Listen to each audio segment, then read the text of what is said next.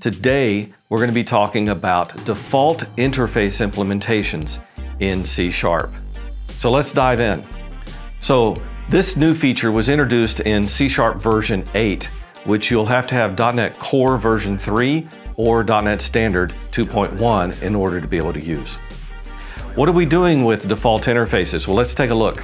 Well, why in the world would we want to do this? Well, mainly the purpose was to allow an API publisher to add members to an interface without breaking existing implementations. We sometimes call this evolving the interface. So, one of the solutions is to use default methods. Now, this kind of violates our concept of an interface, right? Because we've always been told that interfaces do not contain implementation, only classes contain implementation. And if the class is incomplete, then it's an abstract class, but an interface is just pure interface and no implementation. An interface would not impose any implementation requirement on a class. Think about this when a class inherits from another class, it creates a kind of relationship. When we implement an interface, we're just saying we're capable of something. So we can have things that implement an interface that are completely unrelated, but implementing an interface can be done by a lot of classes that are otherwise completely unrelated. So, as long as we're adhering to those concepts, an interface could have some default implementation and not violate our understanding of what interfaces are. All right, let's take a look at an example. Let's say that we're going to implement an interface called iCompany. The iCompany interface defines typical company things like a list of employees or human resources, as well as the ability to hire new human resources. So this is our interface, and it's a pretty typical interface. What's going to happen, of course, is over time, we're going to get additional requirements for new methods to be added to this interface. So in the next slide, let's take a look at an implementation of iCompany.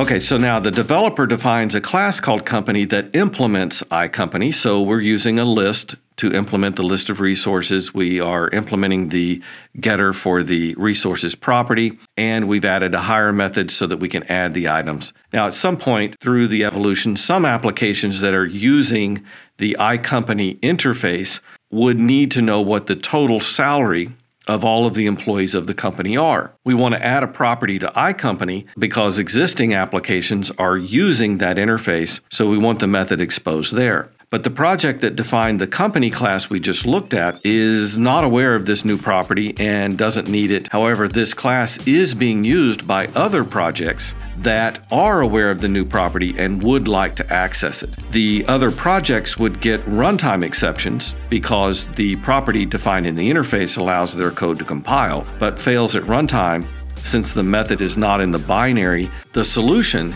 is to provide a default implementation of the property in the interface. The existing company class then will inherit the total salary property that you see highlighted in yellow here. Now, one caveat with default methods is that they are only visible when you're using a variable of the interface type.